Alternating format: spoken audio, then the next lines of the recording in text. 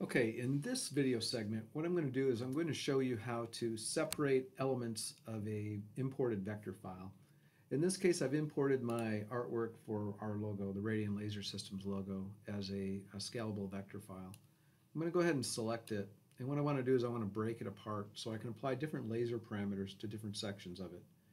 In this case, I'm going to apply Pen 1 parameters to the Radian, and I'm going to apply Pen 3 parameters to the laser systems.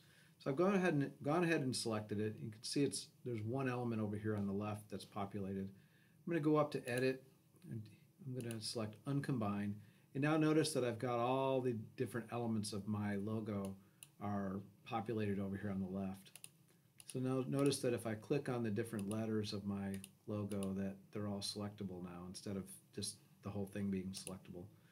So what I'm going to do is I'm going to go ahead and select the letters of Radian I'm going to go to Edit, I'm going to hit Combine, I'm going to turn that into one element, and I'm going to do the same thing down here uh, with the laser systems. So I'm going to go ahead and select those, and hit Combine, and now notice I have two elements populated here over here on the left. Basically the radian, and then I have the laser, laser systems. So now I'm going to go to my hatching parameters, and I'm going to start with radian, and I'll select that. I'm going to go to the hatching parameters, and uh, it can be anything really, but let's say for this case, I'm going to go ahead and set it at uh, 0.5 millimeter hatching, and I'm going to use Pen 1 uh, laser parameters. And when I hit apply now, you see that the Radian Laser Systems has turned black, and it basically took on the color of Pen 1. Now, down on the bottom here, what I want to do is I'm going to select the parameters for, um, uh, I'm going to use laser parameters, Pen 3 parameters. First thing I have to do is I've selected it. I go and I go ahead and say I'm going to hatch it. I'll set some random hatch here, 0.06 millimeters, and then I also am going to go ahead and select the uh, pen 3 laser, uh, pen, uh, pen 3, which is red.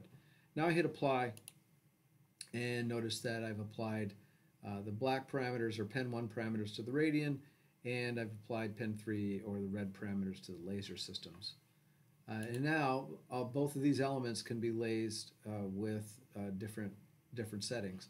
So pen 1 settings obviously can be uh, whatever they are here. In this case it's as you see it. And then pen 3 or the red parameters I can make whatever changes I need to this uh, for the particular application that I'm, I'm trying to accomplish or you know the, the, the results I'm trying to achieve. So um, there you have it. That's how you break apart an, uh, a vector file.